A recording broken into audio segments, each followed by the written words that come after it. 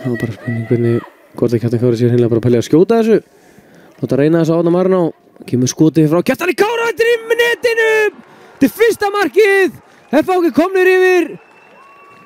Frábært skot hjá Kjartan Kára. Og þetta er betra frá skamanum og færa boltan hennar hratt frá vinstri og yfir til hægri.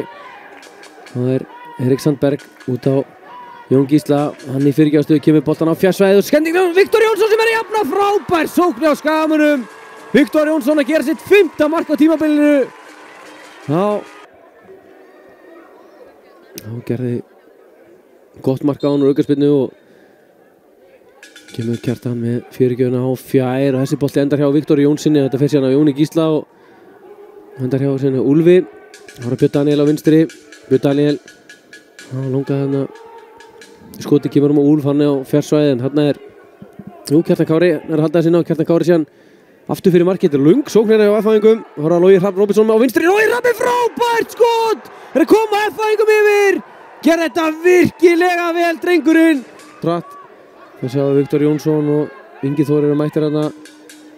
Átnins Salvar hérna í barðunum við Ísak Óla og Ísak Óli er dæmdu brotlegur og hann er á gulu spjaldi og Já, Ísak Óli Ólafsson er að fá sitt setna gula spjald og eru sendur í sturtu hérna.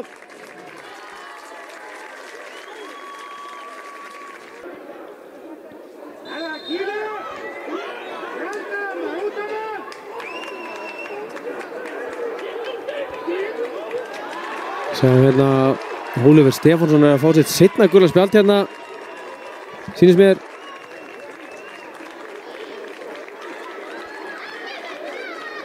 Já Svo hérna Ólafur Stefánsson að fá sitt annað gula spjald og bara sendur í sturtu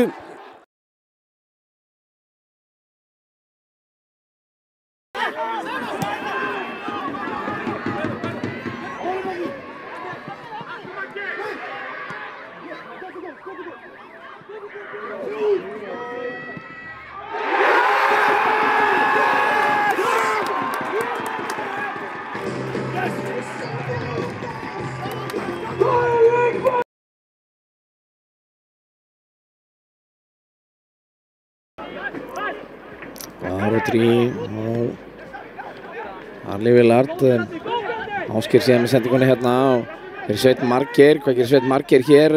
Hann síðan með skot og hann er að koma káamönnum yfir hér í víkinni.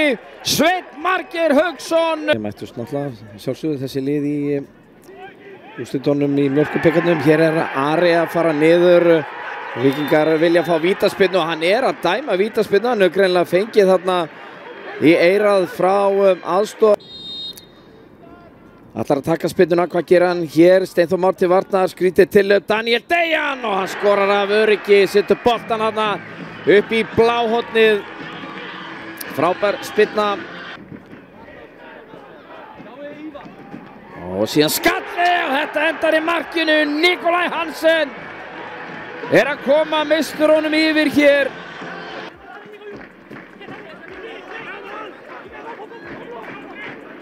Pablo, mínúti bætt við hér. Hér er Ari. Ari með sendingun og Aron Elís, hann er að lauma boltanum hérna í bláhotnið. Það þarf ekki alltaf að vera.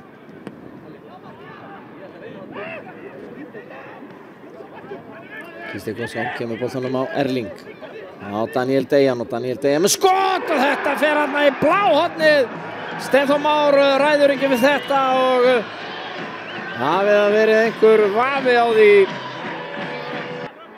Það var Rodri. Og Ívar Örn. Þetta hér fín sendinginn á teginn og um, Elvar Átni Asinsson uh, að um, minka munin hér fínasta